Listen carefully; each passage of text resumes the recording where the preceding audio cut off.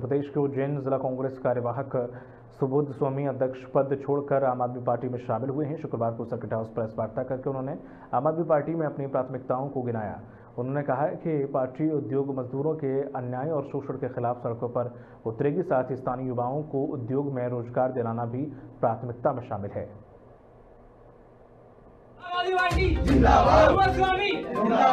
और कांग्रेस में हमने सड़क से लेकर हर उस मंच पर संघर्ष करा, जहाँ से हम हमारे राजनीतिक दल को ऊंचाइयों पर ले जा सकते थे।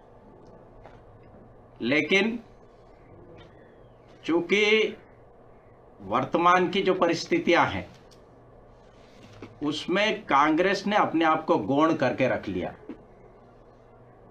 सत्ता पक्ष का अहंकार, दमन, अत्याचार, शोषण दिन प्रतिदिन आम जनता पर बढ़ता जा रहा।